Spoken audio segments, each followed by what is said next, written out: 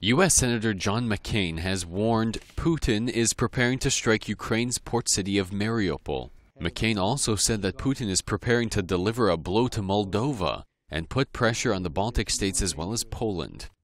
The Republican senator made the comments during a speech at the Washington Center for Strategic and International Studies, where he reminded the audience that Putin is interested in creating a land corridor from Russia to Crimea, and to do so, Russia would need to take Mariupol.